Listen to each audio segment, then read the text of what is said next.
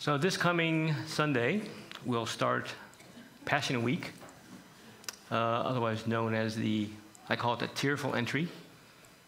Some services will call it the triumphal entry, but we're going to call it the tearful entry.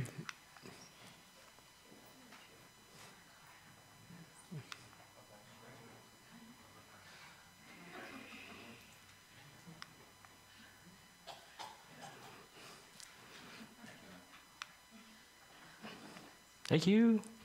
All right. So we're going to look at the people, places, and events around the most important death in human history. And the converse of that is Christmas time would be the most important birth in history, right? So we have two ends of the spectrum, but we're going to concentrate on the unfortunate part of it or the fortunate departing, depending on your point of view. So, anyway, I said the tearful entry. Um, Jesus wept on the way in. Do you think anybody noticed that? I don't know. They were all pretty happy about it, right? If you look for um, hosannas and palms, you won't find any of that in the book of Luke. Not a single mention. The women wept along the way as he was going towards his cross. Peter wept that night. I hate to say that Judas wept that night. And the women who wept on his way out to uh, the cross, they probably wept at their own state as they waited for unknown what was going to take place. Their Savior had just died. I've wept. You've wept. So while you can call it a triumphal entry, Jesus was probably very sad the fact that they missed it. They missed Daniel 9. They missed Zechariah 9 9. So he was tearful of the fact that he, they missed it. They wanted that physical king. That's what they were after. They had no idea who it was that they were laying their cloaks in front of. So we're going to go through some of this. So we're going to make nine stops real quick, and um, I marked them off there for you so we can keep track of where we are. Um, number one on our slide, we did not know exact location of the upper room.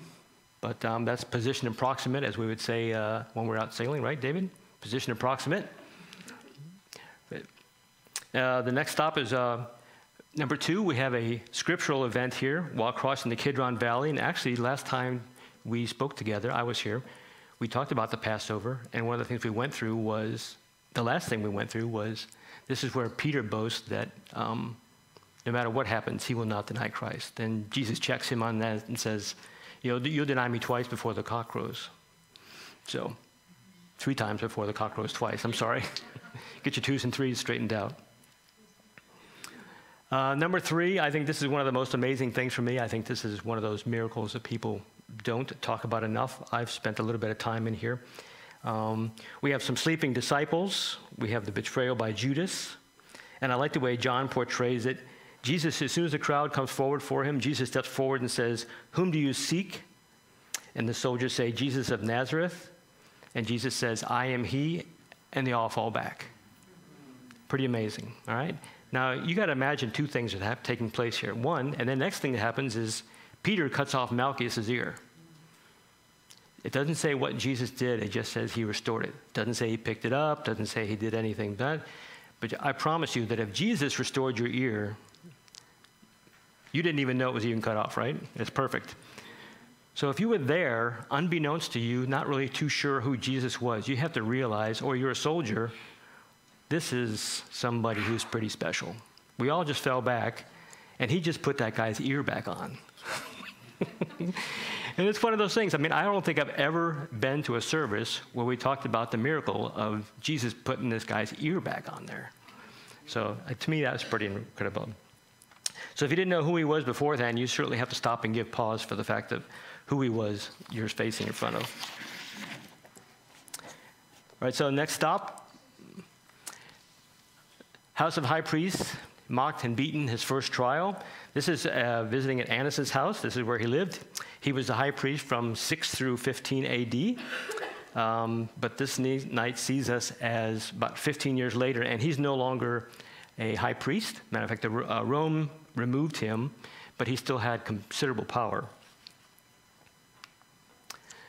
Caiaphas, head of the Sanhedrin. Get rid of these papers. Uh, interesting, we get a little bit of a timeline here because the Sanhedrin was not allowed to meet before sunup. So this is somewhere between maybe 6.30, 7 o'clock in the morning. This is his second trial. And this is, um, Caiaphas says something very prophetic here. So let's go to John 11 and look at this.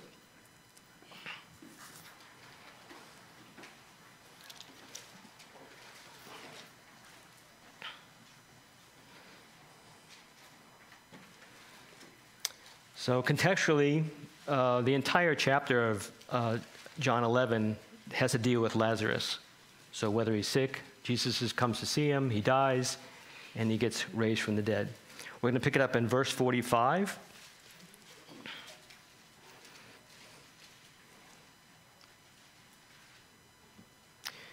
Then many of the Jews who had come to Mary, but Jesus had just called him out of the grave. Then the many of the Jews who had come to Mary and seen the things Jesus did believed in him.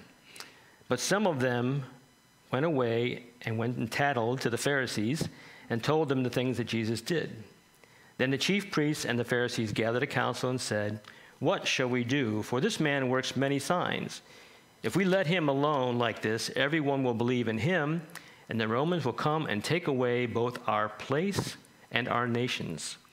And one of them, Caiaphas, being high priest that year, said to them, You know nothing at all, nor do you consider that it is expedient for us that one man should die for the people and not for the whole nation that they should perish. So he's being incredibly prophetic there. It's, he's basically spoken the central doctrine of the Christian faith in the substitutionary death of Jesus Christ.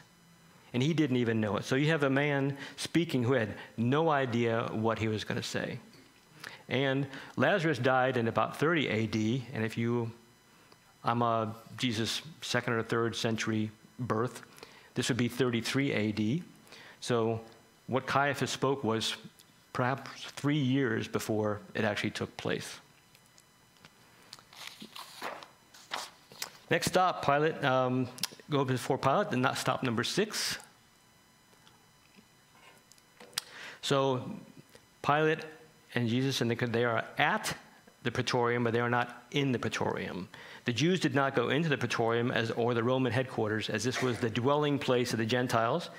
And should they have gone in there, they would be unclean for Passover. So Pilate came out to them. In that discourse, Pilate asked his famous question, What is truth? In John 18 38, What is truth? And he said he had said to this, he went out again to the Jews and said to them, I find no fault in him at all. So, next stop before Pilate. So, Pilate hears that Jesus is a Galilean and tries to unload this problem on Herod, whose jurisdiction was, was Galilee.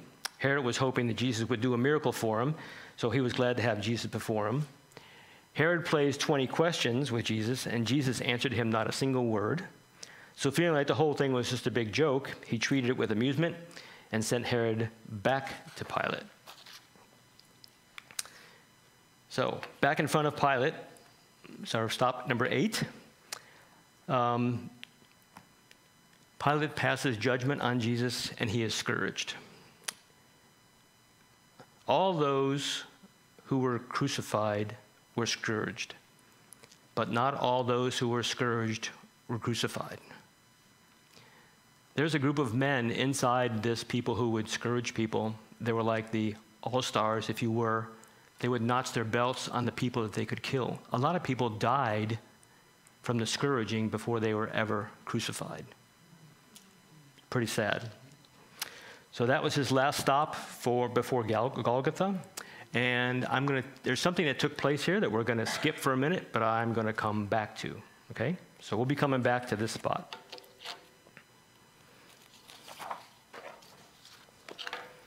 Then our last stop here, it's about six tenths of a mile from the Praetorium to Golgotha. And we're going to stop here from our little map. And now we're going to take into, jump into some of the people that were there.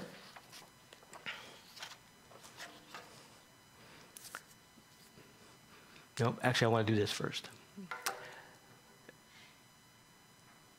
The crucifixion has a lot of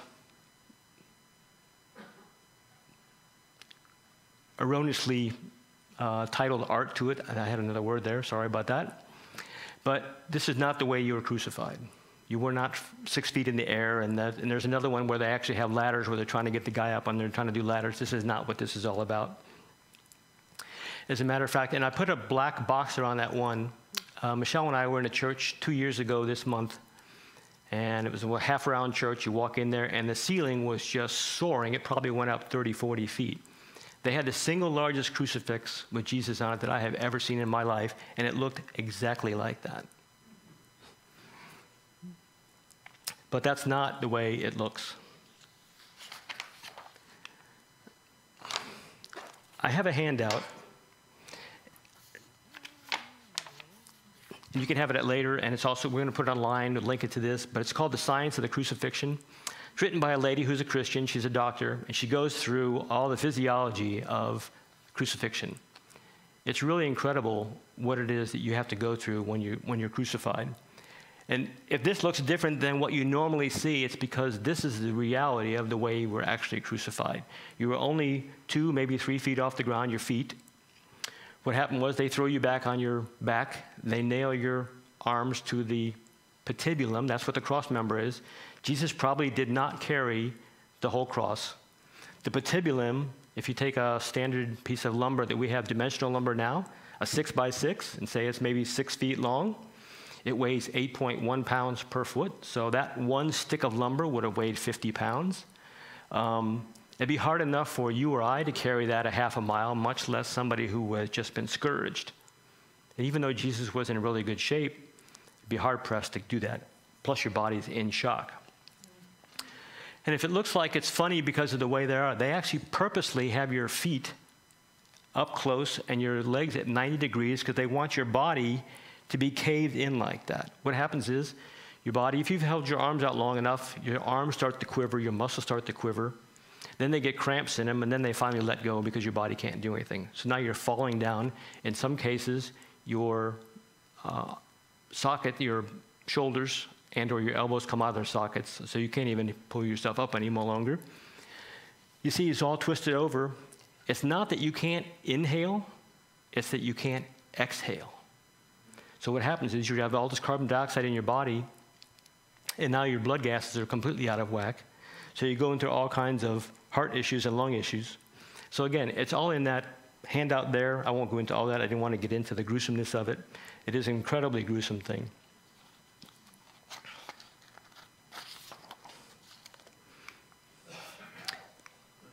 Didn't want to go there. Darren, I need to go back to that one slide. Oh my gosh.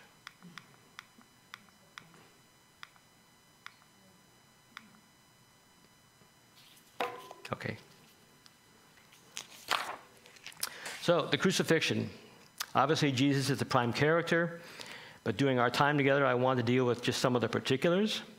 And we often think about who he was, the how and why he went to the cross, and what it cost him, and how it impacts our lives, and it does tremendously. It's the single most important death in human history, and every fact that we can uncover brings us to a fuller understanding. So, again, I didn't want to spend a lot of time on the crucifixion, but it's important to recall some of this. And I want to get some of the idea behind the physiology and aspects of the torture of his death. Um, we're going to walk quickly through, I already did that, but the Gospels, the writers of the Gospels, did not make a big deal about this at all. For them, he simply died.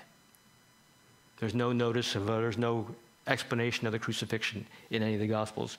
Jesus himself and the apostles knew full well the horrors of what would take place. And the part that grieved him most would be that his Father, the God of the universe, would turn his back on him.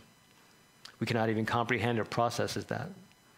Since my salvation, I have never, ever felt he was not present during anything that I was going through partly because his word says, I will never leave you nor forsake you. So when darkness fell over the land, it was as if the light of the world had been extinguished. So the type of cross that he was crucified on was called a tau. Uh, that's a Greek letter and appears much like our uppercase T, so that's the way that was.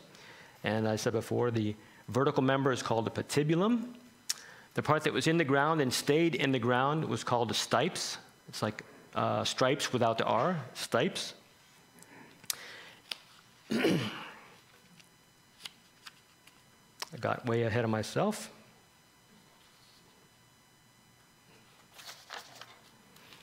All right.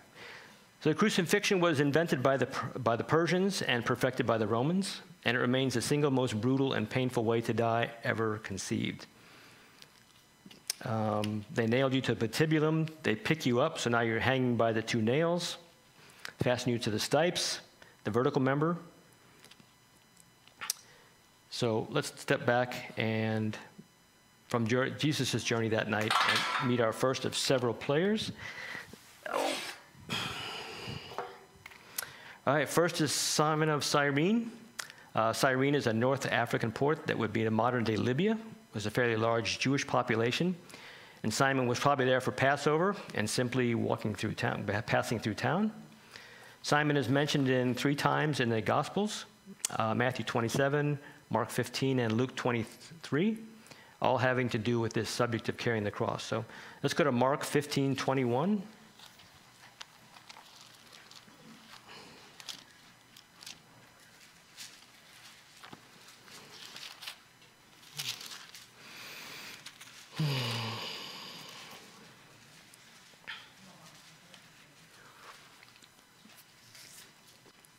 Mark 15, 21. Now they compelled, I like that word, now they compelled a certain man, Simon a Cyrenian, the father of Alexander and Rufus, as he was coming out of the country and passing by to bear Jesus' cross. So therefore, Alexander and Rufus, well, Mark's gospel was written some years later after the crucifixion. And Simon mentioned his father of Alexander and Rufus. So if this is 33 AD and Mark was written about 50 AD, so we have about a 20 year span there. So it would be plausible to say that um, Alexander and Rufus were known by Mark, by Mark's readers. Um, there's also a tradition that the Rufus mentioned in Mark 15:21 is the same Rufus mentioned in Romans 16:13. Let's go there real quick.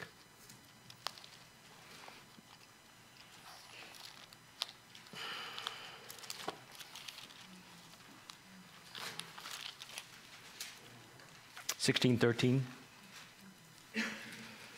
So in Romans here we have Paul's personal greetings, his swan song, basically, he's thanking and greeting everybody that ever helped him, um, concludes with his admonition and his benediction.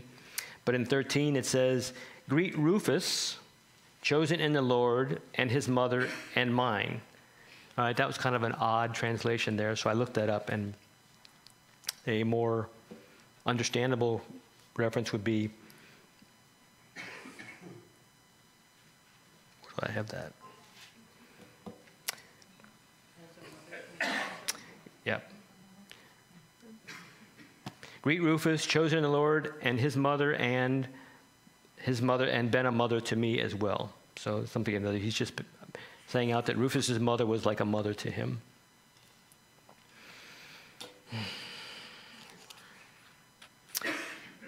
So, circumstantially, we can hypothesize that Simon and his family were Christians. If this is the case, then it would lend credence to the idea that Simon and his family were prominent in the early church.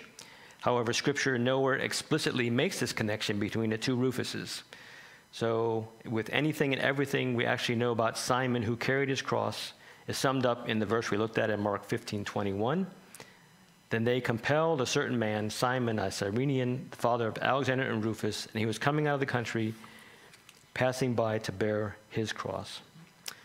So his human strength is waning. Jesus handed the physical or the human weight to a man, but moves ahead of Simon and conquers death and resurrection in his divine strength. It was his divine strength that Jesus displayed that day. Simon was pulled in to walk the walk, but Jesus led the way. And that's the way it is when we bear our cross. Jesus is always going before us. Luke says it this way in Luke 23 26.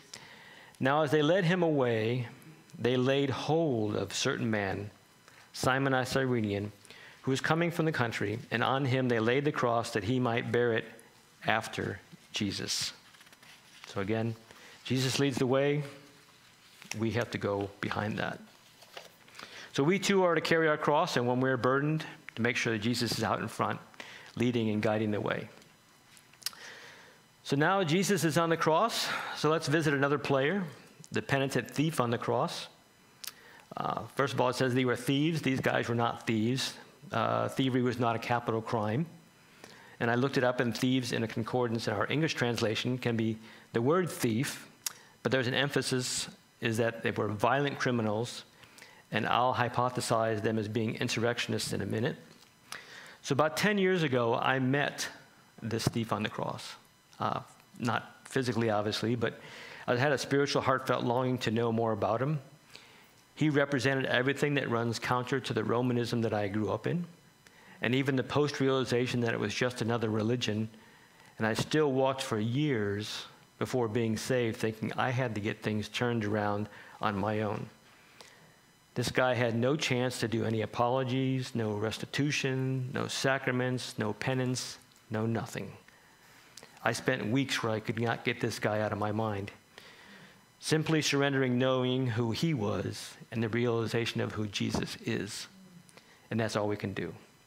Then, some months later, in a reference book, The Life and Times of Jesus the Messiah, I actually found his name. His name was actually recorded. His name was Dismas. So if you write that down, if you walk out of here tonight and you have the name of Dismas and you can go tell somebody you know the name of the thief on the cross, you'll be far ahead of 99.999% of the people on the face of the earth. Because I've never run into anybody who knew that at all. And I have another handout. His name was Dismas. Uh, I wrote this four or five years ago. It's a good paper. You, this is now is a good time when you can um, start up a conversation with somebody, kind of move into this, and if you give that piece of paper or you can email it to them, I still hand it out it'll, even if they're a make believer, it's going to challenge them. It'll get them lost, and in the end, they'll get the gospel. So it's a great thing. And my name's not on it, and the church is not on there, so you can spread it far and wide. I don't care. So Dismas is on my top spot on who I want to meet when I go to heaven. I know that may sound weird, but who he is and how he fits in the crucifixion, for me, was a real revelation, but that's me. Dismas has been and sort of continues to be a huge part of my life in Jesus, within Jesus Christ. I don't deify him. It's just that I spent so many hours thinking about somebody and how they fit in as part of the salvation experience. And for me, it was very impactful. So, hanging there, he receives the ultimate pardon. Well, okay, not a pardon. He receives the ultimate gift. Let's look at Luke, Luke 23.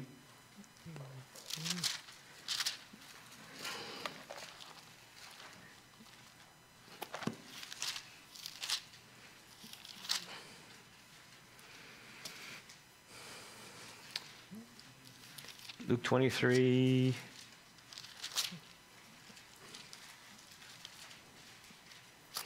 Twenty-three thirty-nine.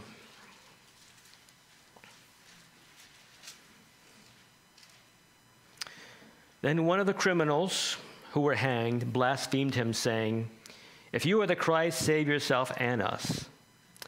But Dismas, answering, rebuked him, saying, Do not even fear God, seeing that you are under the same condemnation? And we indeed justly. For we received our due reward for our deeds, but this man has done nothing wrong. Then Dismas said to Jesus, Lord, remember me when you come into your kingdom. And Jesus said to him, Assuredly I say to you, today you will be with me in paradise. All right. Notice in verse 32, he said, he did not say paradise or heaven, he said kingdom. Mere conjecture on my part, but for him to use the word kingdom, I surmise that Dismas has been around and heard Jesus speak of kingdom, a kingdom not of this world. For him to use that word, for me, implies that Jesus, he heard Jesus more than once. Again, that's just my humble opinion. So here we have the entire gospel of sorts, if you want, right here between 49 and 30, 43, in 92 words. And like your call and mine to repentance, it's one on one. For Dismas and Jesus, it was one on one. But imagine the war that went on in Dismas's head now that Jesus has died. He's hanging there, he's alive, Satan is going to be all over him. Kingdom, paradise, you got to be kidding me. You did this and this and this. Imagine what, you're not going to heaven. You're coming with me today. Just go ahead and spit on him and curse him like your buddy over there did. But if Jesus says you're going to be in paradise with him today, that's where you're going. If you're going to go across the lake in the boat, you're going across, no matter what happens in between, right? All right. Jesus did not live long enough to, but Decimus did live long enough to get his legs broken. So you can imagine you're there, you're just a couple feet off the ground. You're hanging there like this, your head's probably down, but it's on a hill. So you see some motion and you look up there and you see that guy coming. Big soldier, he's carrying a big club. He's got one of those very slow but steep interesting, um, exacting steps. He's coming for you. You know what's going to happen. So you close your eyes, and he swings back, and he's swinging for the fences, and you just hope you pass out from the pain. You know how it is when you just bark your shins, how bad that hurts? Can you imagine some guy's going to swing at you with a club and break your legs? So hopefully you just pass out from the pain, and then you just die of asphyxiation, because that's what basically would have happened. And if he was swinging at you forward, that's one thing, but if they swings at you sideways, you'd probably knock your feet off the stipes. And uh, I found a picture, I didn't bring it, of a body that they exhumed, a skeleton, as it were, that somebody who had been crucified, and he still had the nine-inch spike between the two feet, between his feet. Amazing. So for me, I'm looking forward to meeting Decimus. So let's get to another player, Barabbas. Barabbas was an insurrectionist. And let me put that in context. Rome ruled with absolute power. The Jewish leaders had just killed what they thought was a political upstart in Jesus. And Rome was not unhappy about it at all. Jesus created a stir, and they didn't like his rallies. I don't mean to imply that's what they were. I'm trying to contextualize it for us. Jesus drew crowds, and Rome didn't like crowds. And the Jewish leaders did not like Jesus' crowds. Jesus was drawing big crowds, and Jesus stepping all over them and calling them out. Barabbas was part of a group of zealots called the Sicarii.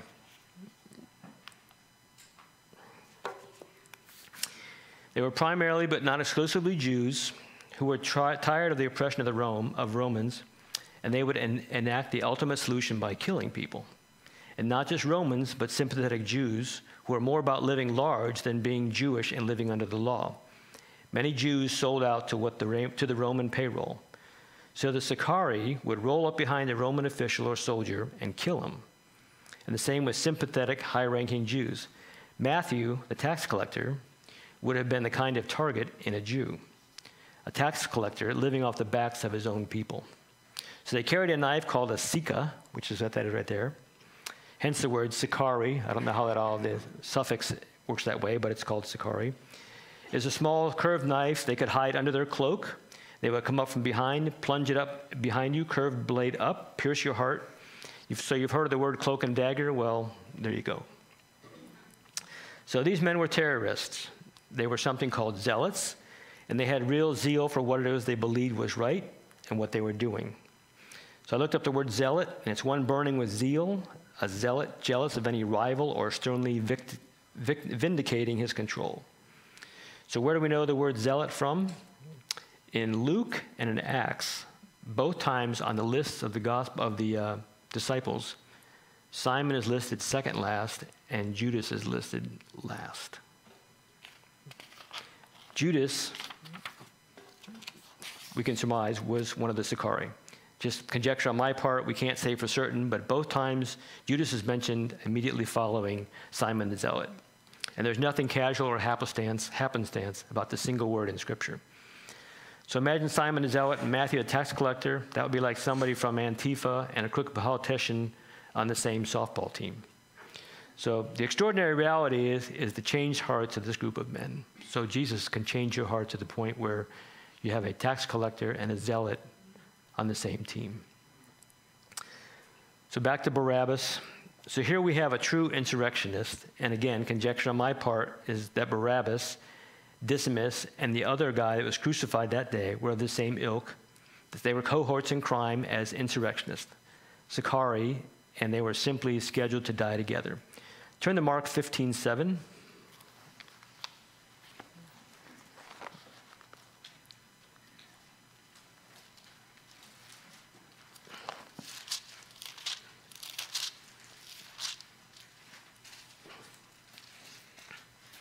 Mark 15, 7.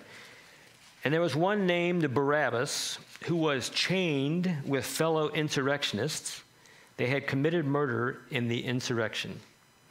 All right, so I'm not saying that there were two guys, three guys, or 10 guys chained, but for me, it kind of works out to the fact that these three guys had all been captured in the insurrection.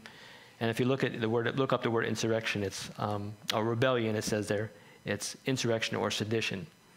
So for me, it was these three guys were cohorts, and they were going to be crucified together, but obviously Barabbas got bought out. So if you can imagine, um, you remember 9 11, Zacarias Moussaoui? People remember that? Okay. Um, many people in this country saw him as a hero. Okay, most of them were fundamentalist Muslims, and, and there was a very large faction at the time, being it was the fastest growing religion in the world. And even the Sunni and Shia Muslims came together on that day. And even some Americans who hate this country, what it stands for, were sympathetic to the cause of Moussaoui. So you can see how it was easy or easier for the leaders to whip up the crowd to be able to release Barabbas. So we've met some of the players in that day in the single most important death in human history. Obviously, Simon the Cyrene, Dismas the penitent thief, and Barabbas. Now, it'd be fair to say that Dismas holds first place for salvation. Based on Christ's atoning sacrifice that day, Jesus gave up his life for Dismas. But let's look at something. Remember, I said I was going to go back to Pilate. Okay, so let's go back there. So Jesus is at the praetorium, standing before Pilate, and a good number of Roman soldiers, the high priest, and a crowd. Below the praetorium, and off to one side, are the prison cells, and they're carved out of limestone. So Barabbas is down there, and he wouldn't have heard Pilate's question. He wouldn't have heard Pilate said, "Which one of these people do you want me to give, to give, give you away? To give away?" And they were saying, "Barabbas, Barabbas, give us Barabbas, Barabbas." So Barabbas would have heard that, and he's thinking, "Wow, this sounds pretty good. Maybe I won't die today." But he wouldn't have heard Pilate's second question. And Pilate's second question is, What do you want me to do with him? Him being Jesus. And they all yell, Crucify, crucify him, crucify. So now Barabbas is a little bit nervous because now he realizes he's going to be crucified. So he sits there and waits patiently. And he hears the Roman soldiers off in the distance coming their armor and their sandals uh, resonating off the walls, and it gets louder and louder and louder. And a guard comes up to the gate, fiddles with the lock, opens the door, stares him right in the face, and says, You can go free. Jesus paid your price. He died for you. Maybe Dismas wasn't the first one to be saved. I don't know for a fact. I'm just saying, hypothetically. We don't know.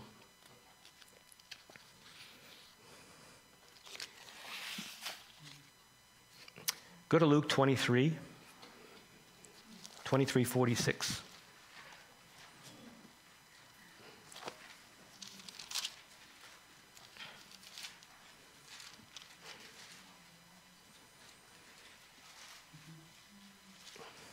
Luke 23 46.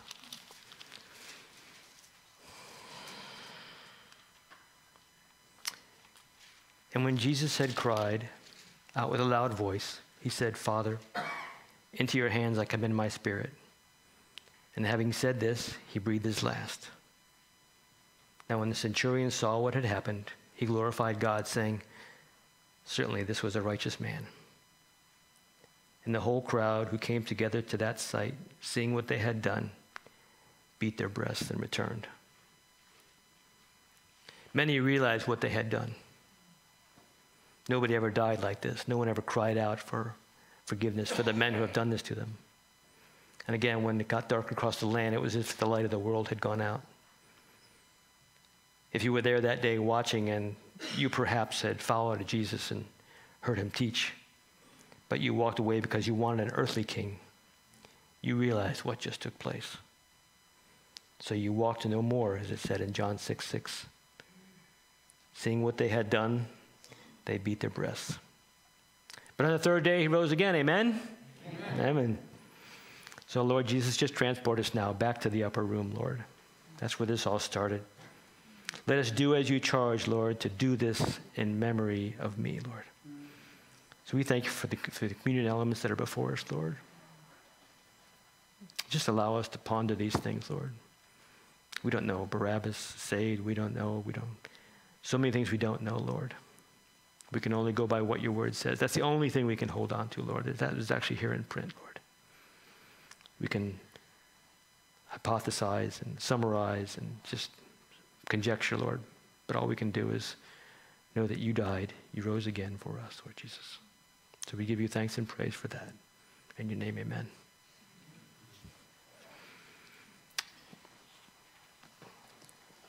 Pastor Dave is going to come up and play some little instrumental for us.